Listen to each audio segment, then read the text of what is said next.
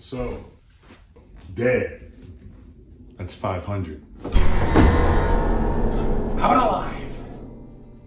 You want to know how I got these scars?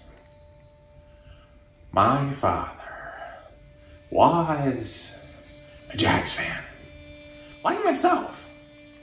And one night, after yet another loss, he goes off, crazier than usual. Mommy grabs the remote to turn the TV off. He doesn't like that. Not one bit.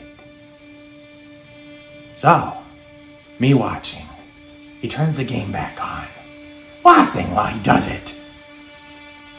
He turns at me and he says, Why Trent Baalke? He comes at me with the remote. Why Trent Baalke? Sticks the remote in my mouth.